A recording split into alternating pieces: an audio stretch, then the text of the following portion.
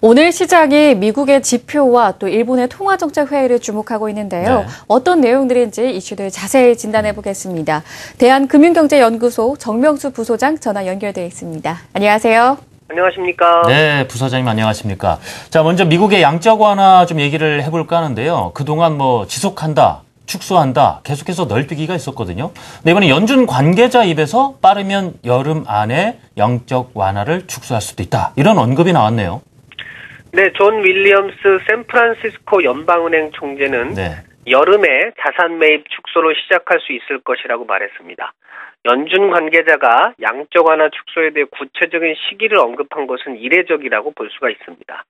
윌리엄스 총재는 어, 자신의 경제 전망이 맞는다고 가정하면 여름에 고용시장 상황이 상당한 개선을 보이는 등 시험대를 통과할 것으로 예상된다고 말했습니다.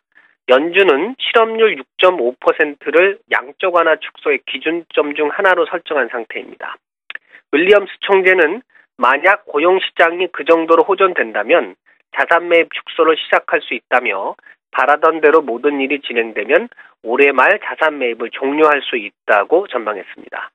어, 그는 연준의 양적 완화 정책을 자동차 운전에 비유했는데요.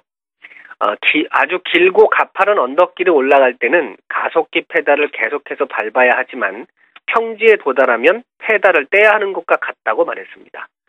그러나 양적 완화 규모의 축소가 곧바로 연준의 긴축을 의미하지는 않는다는 분석이 지배적입니다. 연준이 매입한 자산, 국채를 시장에 매각할 경우 금리 인상이 불가피하고 경기가 위축될 가능성이 높기 때문인데요.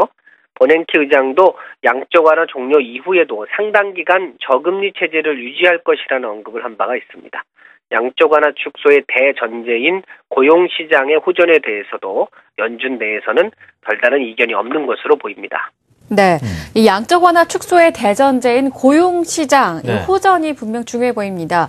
분명 양적 완화 축소 얘기가 나온다는 거는 음. 고용 시장이 회복됐다 이렇게 받아들여지거든요. 그런데 마침 미국의 민간 부문 고용 지표가 네. 나왔습니다. 네, 그런데 예상보다 좋지 않은 음. 숫자가 나왔습니다. 미국의 오토매틱 데이터 프로세싱 ADP가 발표한 3월 민간 고용은 15만 8천 명 증가했습니다. 2월에 23만 7천 명 증가를 밑도는 것이고요. 전문가 예상치 20만 명 증가에도 못 미쳤습니다.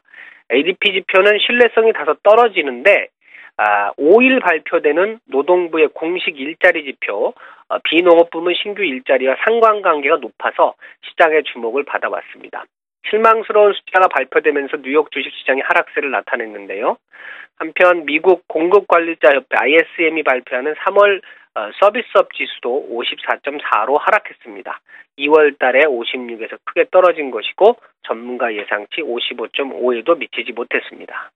미국의 경기 지표가 잘 나가고 있었는데 좀 제동이 걸리는 모습을 보이고 있습니다. 네. 자, 그리고 오늘 우리 증시가 이제 일본의 통화 정책 회의 어제는 시작이었으니까 그렇다 쳐도 오늘 끝나다 보니까 결과가 나오지 않습니까? 아무래도 구로다 총재가 처음 주재를 하다 보니까 음. 관심이 갔는데요. 네. 어떨까요? 네, 구로다 하루이코 총재가 이끄는 일본은행의 통화 정책 회의가 이제 오늘 그 결과를 공개합니다.